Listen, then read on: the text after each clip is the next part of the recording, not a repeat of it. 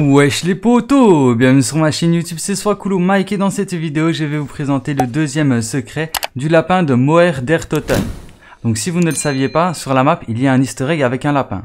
Alors ce lapin, il est séparé en 6 morceaux, il faut récupérer les 6 premiers morceaux pour apparaître dans une pièce secrète, un peu à la confidence sur 10 machines. Sauf que là, c'est vraiment un autre lieu et c'est aussi une sorte de confidence. Donc il y a tous les zombies qui dansent avec le lapin et le lapin c'est le DJ. Et bien cette première pièce, vous pouvez y accéder dès que vous avez réussi à rassembler tous les morceaux du lapin. Alors si vous ne savez pas les emplacements des morceaux du lapin, je mettrai en description et en commentaire épinglé une playlist avec tous les tutos de la map Moerdertoten. Donc n'hésitez pas à aller voir si jamais ça vous intéresse. Alors là, dans cette vidéo, je vais vous expliquer comment aller une deuxième fois dans cette pièce secrète de confidence de lapin. Alors c'est très simple, quand vous avez accédé une première fois à la pièce secrète du lapin, donc que vous avez réuni les six morceaux du lapin, là ce que vous allez devoir faire, c'est passer 15 manches à partir du moment où vous avez fait la première partie de egg du lapin. Donc là par exemple, moi egg, je l'ai commencé à la manche 6, donc, si je rajoute 15 manches, ça fait qu'à la manche 22, je pourrais retourner dans cette pièce secrète. Alors vous allez me dire, ouais mais 6 plus 15, ça fait pas 22, ça fait 21. Ben oui, c'est exact, mais en fait c'est 15 manches complètes qu'il faut passer. Donc la sixième manche où je suis rentré dans la pièce secrète ne compte pas parce qu'elle était déjà entamée. Alors si vous préférez, vous pouvez calculer 16 manches à partir du moment où vous avez fait la première partie de l'easter egg. Donc 6 plus 16, ça fait 22. Alors maintenant, si vous le faites à la manche 10, vous rajoutez 16 manches, ben ça fait 26. Donc après 15 manches ou 16 manches, peu importe comment vous calculez les manches, vous allez devoir vous rendre à la rue Berlin-Est.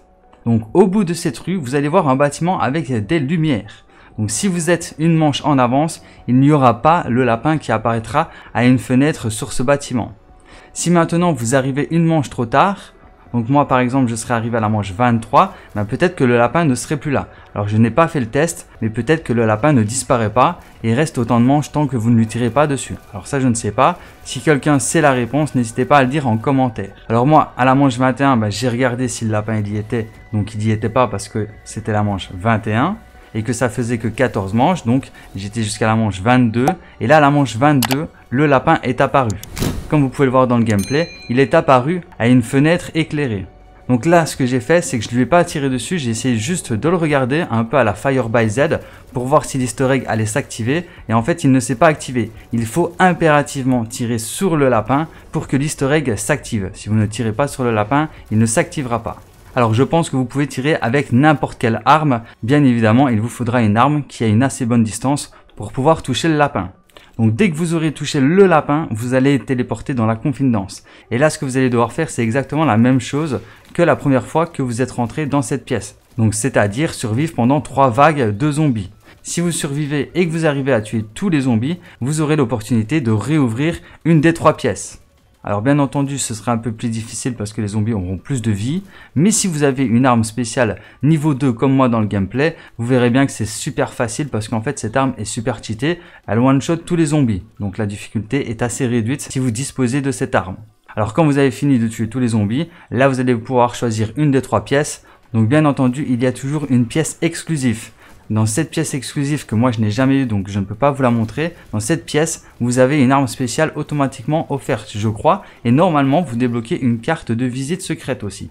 Après je ne suis pas sûr mais c'est ce que j'ai entendu dire.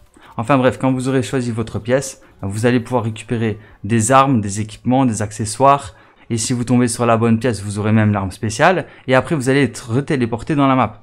À ce moment-là, je ne sais pas si vous pouvez retourner encore une troisième fois dans la pièce, par exemple, en refaisant 15 manches. Je n'ai pas testé, donc si quelqu'un a testé, n'hésitez pas à le dire en commentaire si en passant 15 ou 16 manches, peu importe comment on les compte, si le lapin réapparaît et est-ce qu'on peut retourner dans la confidence avec le lapin?